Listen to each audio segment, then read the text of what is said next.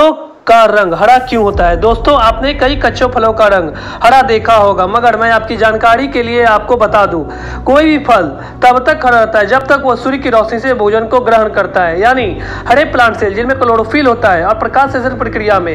सूर्य के प्रकाश से भोजन को ग्रहण करता है और खुद को विकसित करता है जब वह पूर्ण रूप से विकसित हो जाता है तो वह सूर्य की रोशनी से भोजन को ग्रहण करना बंद कर देता है और उसका रंग बदल जाता है उसका रंग लाल या पीला हो जाता है इस तरह मालिक को पता चल जाता है कि वह फल फल खाने योग्य हो गया है